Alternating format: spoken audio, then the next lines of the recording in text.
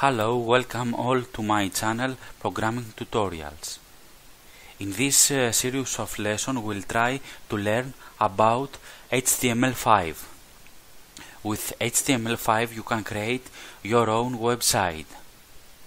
In this series of lessons we'll try to learn easy and quickly HTML5 with uh, many examples.